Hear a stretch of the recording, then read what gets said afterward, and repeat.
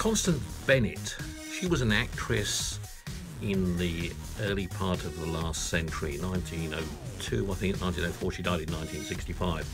She was on stage, she was in Hollywood movies, she was on radio, a theatrical actress who was at one stage the highest paying female actress in the world.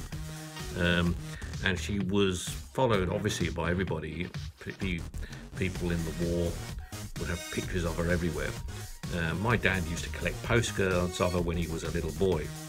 And it's really about that I wanted to actually share with you. I found a, a postcard that he wrote. I don't know how I happened to get the postcard back because he wrote it to somebody and um, it came back.